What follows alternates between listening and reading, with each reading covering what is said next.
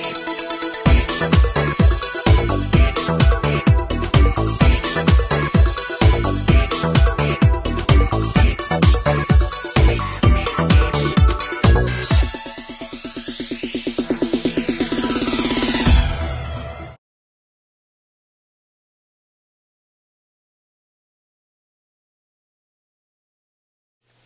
I'm Dr. Sherry Stewart, and I'm the Assistant Dean for Admissions at the Colorado State University College of Veterinary Medicine and Biomedical Sciences.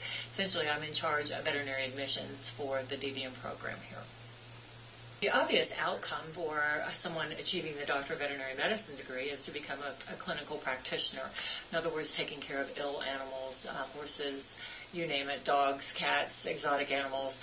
Um, but that's only one of many things. Even within clinical profession, you can do many, many things. You can uh, become a specialized uh, surgeon of, of, orthopedic surgeon. You can become um, an ophthalmologist, a board certified veterinary ophthalmologist. So, so even clinical practice, there are a variety of things that you can do.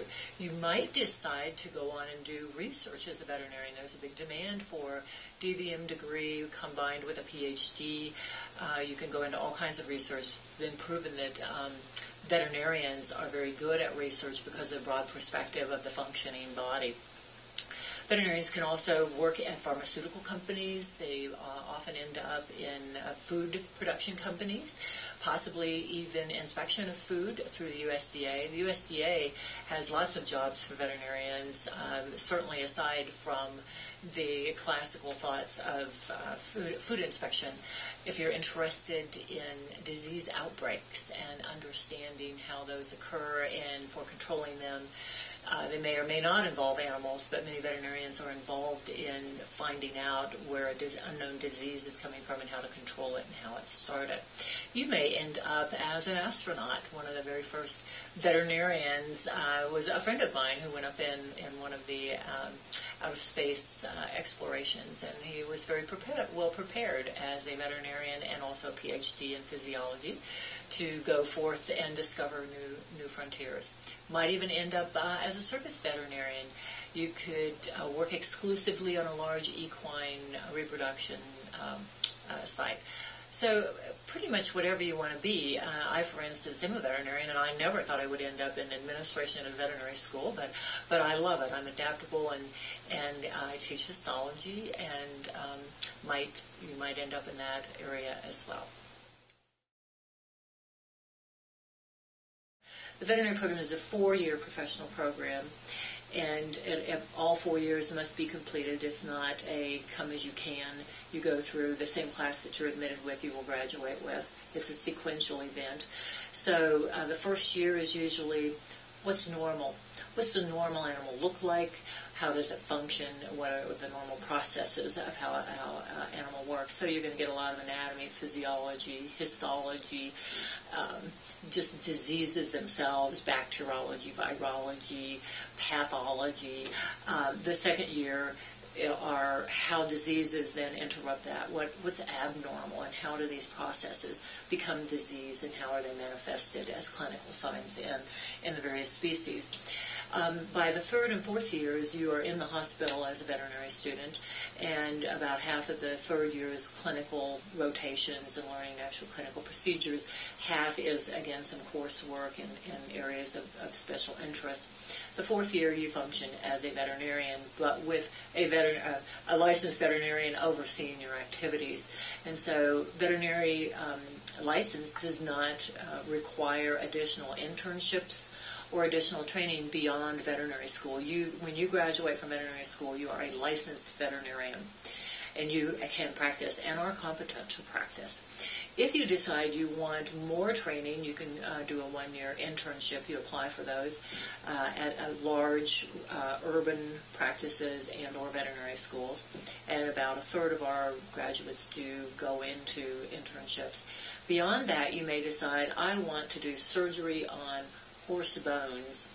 And so you may get a residency in equine orthopedics and really become a specialist in surgery on lameness in horses. And in that, that way you would become what is called board certified and that you are known to be a specialist in the field. So in terms of just a, a summary and outline of what it takes to get admitted to veterinary school, good undergraduate uh, academic preparation, although most veterinary schools do not require completion of a bachelor's of science degree. You can get admitted to veterinary school without completing a bachelor's degree in college. Most of the applicants do have a bachelor's degree or are in the process of completing one when they are admitted. So basically, the application cycle is a year in advance of when you're actually admitted. So someone might apply as a as a um, beginning senior in college would be completing that that time uh, while they're going through the admissions process, and then they would matriculate the following year and have completed their degree. That's a common scenario. In terms of the actual coursework, um, I'm going to give kind of a common core list of courses that most veterinary schools in the United States do do require some general liberal arts courses, usually college composition, along with uh, 12 credits or so of liberal arts electives. A few veterinary schools do require uh, speech communication classes. It's best if a candidate who's applying to a specific veterinary program check to make sure uh, that they are meeting all the requirements before they reply. But these are, are the most common requirements across the United States uh, almost every program requires biochemistry. And, and by biochemistry, we mean a biochemistry class that requires organic chemistry as a prerequisite. So you're talking an upper division biochemistry class along with a series of chemistries that lead to that. So it's quite a bit of chemistry.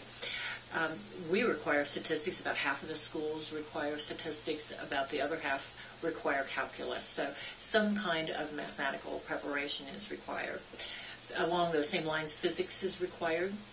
One or two semesters of physics with laboratory, depending on the program that you're applying to, but some minimal um, physics is required.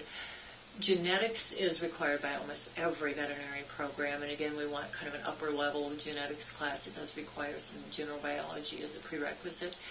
And um, other than that, I think that's pretty close to, to what the veterinary schools require. We try to keep our requirements generalized so that candidates can take a number of different kinds of degrees. Uh, to, to mention a few of the more common ones would be biology, zoology, microbiology. Uh, it could be just any kind of biomedical sciences, but then you can also do animal sciences, equine sciences.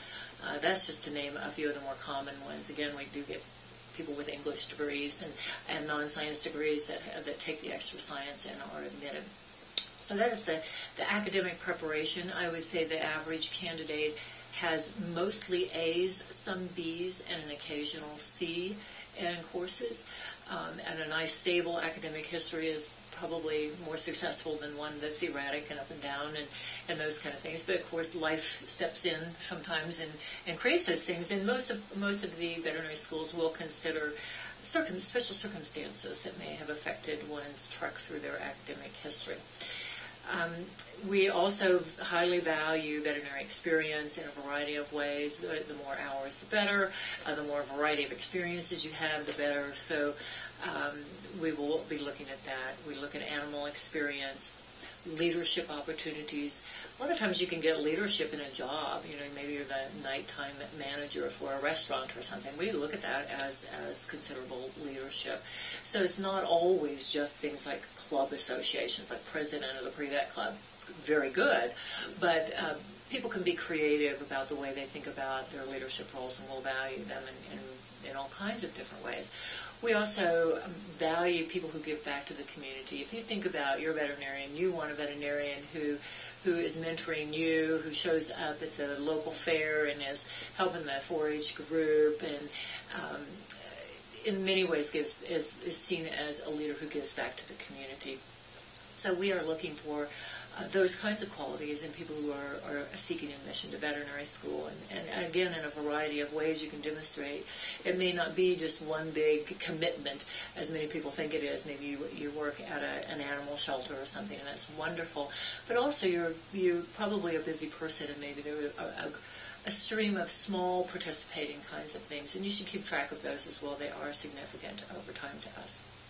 Finally, we have you write a personal essay, which is, is usually the biggest challenge of, of the process of getting admitted and, and seeking to go through veterinary school. And um, again, we're looking at your connection with becoming a veterinarian, what you know about it, and how, how you will contribute to that profession. Three letters of recommendation. First of all, the advice I would give is dependent on whether you're currently in K through 12 or you're in college uh, or beyond in a, in, um, a career, other career or possibly in a graduate program. Just to give you an overview of the high school, if you're in high school, um, concentrate on taking science classes, math classes, but don't forget that a lot of doing well in college is also English and writing. Those are the kinds of background courses I would suggest you have. Uh, take chemistry in high school if all possible.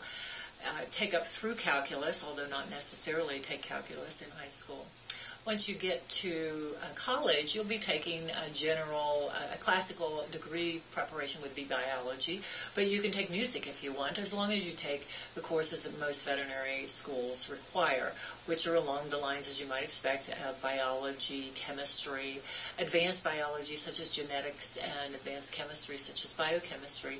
Um, that's pretty much what most of the veterinary programs require. A good preparation so that, that we can determine from your academic history that you have a good chance of handling a very rigorous, tough academic curriculum once you get admitted to the veterinary school. So just a good solid preparation, mostly in the sciences, will prepare you well for veterinary school.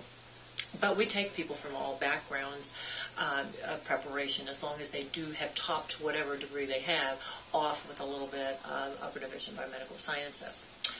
So beyond that, uh, we want you to know what you're getting yourself into. For instance, a little bit of work with a veterinarian would be a good idea. How do you know you want to be a veterinarian? Maybe you've owned pets, but maybe it's it's more than you realize uh, the, what goes on in the back of the, the clinic where you take your own animal, or when your veterinarian comes out to your ranch and sees your animal. You don't really know where he or she goes when they leave. They probably are going home to work on books and, and their, their bills, etc. But um, knowing what it's really like to be a veterinarian is very important, and we will value that in the admissions process as well. Average applicant has between 500 and 1,000 hours of veterinary experience, and it can be in a variety of ways, like the ones that I, I talked about before. You might work with a veterinarian in a research arena, in a classical clinical area, maybe work um, at a zoo with a veterinarian. So many ways you can get that experience, but we really like to see that experience in the same kind of avenue, just plain old animal experience is really important. Maybe you grew up on a ranch. You really know how to handle a thousand pound animal without getting trampled. That's a, that is a skill that is valued when you apply to veterinary school. So keep track of things. Uh, keep, I always advise people to keep a folder when you do things like work with animals or you work with a veterinarian. Just keep track of your hours. It's kind of like preparing preparing for application to veterinary school is like preparing your taxes. You just get all those documents together, which people don't normally do anyway, but we suggest that you do it and um, have them ready to go at the time of application. We also value what you would value in your own veterinarian. Uh, you expect them to have good uh, communication skills, maybe be leaders in the community, certainly contributing to community service, mentoring some of you who hope to go to veterinary school. So we will look for these qualities in applicants as well. Uh, a give back kind of personality to the community, leadership, and uh, communication skills.